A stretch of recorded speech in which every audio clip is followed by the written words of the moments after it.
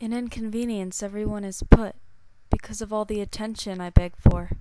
My very best friend Waits on me hand and foot Can she even be called a friend any more?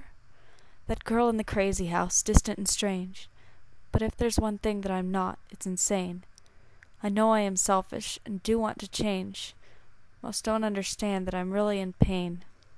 Being sheltered so much does get lonely, some I only hear voices downstairs from above. Spoiled and ignorant, I hate what I've become I'm such a huge burden on all whom I love. Princess? On top of the world, which all relies on she, I can't even manage to take care of me.